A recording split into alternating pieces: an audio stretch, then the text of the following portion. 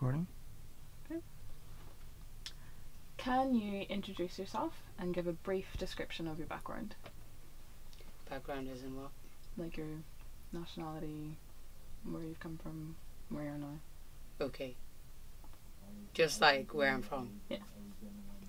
Hi, this is Princess Blackfish, and I'm from Zimbabwe. And I grew up in Ireland, and now I live in London. I'm a multi instrument. Let's do that again. I'm a multi instrumentalist, uh, producer, musician, artist, designer as well.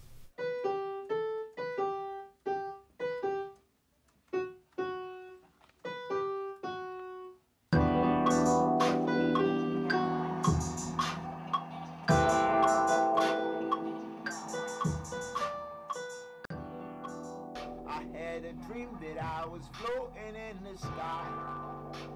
Said I'm floating in the What would you say you're learning about yourself right now?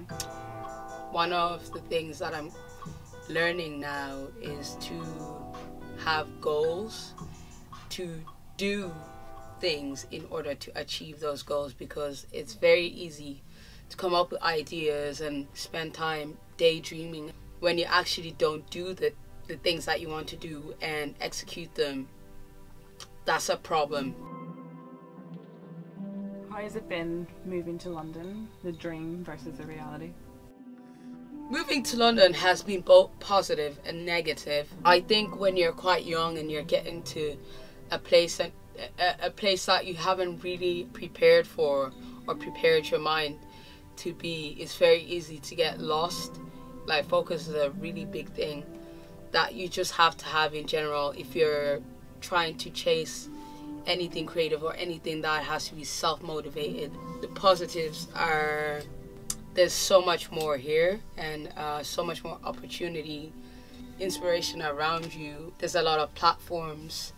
There's a lot of good people. Like you can make some really great connections, and that's what I love about this city. It's always busy. It's a a place where you learn how to grind, and there's the creative side, but then there's the business side, and a lot of uh, creatives forget that the business side is like slightly a bit more important. Being somewhere like this forces you to kind of get into that mindset, more kind of uh, determined to finish what it, whatever it is that you do. You know. What makes you feel empowered about yourself?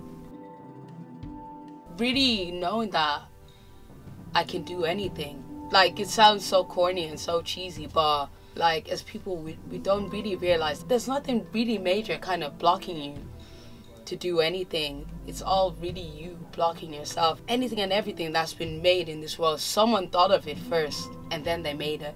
So what's to say that like you can't achieve whatever it is that you want to achieve? There's really no written formula. Just do it your own way. That's one thing that makes me feel empowered by myself. What advice would you give to your younger self? To my younger self, God, don't party too much. Yeah, just have balance within everything. Um, because I personally, I feel like I've wasted a lot of time doing sh- random shit that I could have spent that time doing things that would have helped me elevate. When you hear the phrase, the time is now, what does that mean to you? Do everything now. Now, for real. That's where I'm at in, in my life. Uh, because I have a lot of projects that I want to do. And I feel like I have to start them now.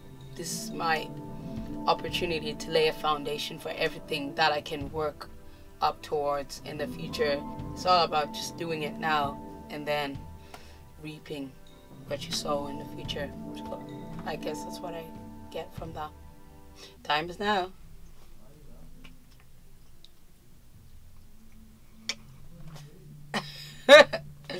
yeah. Is that it?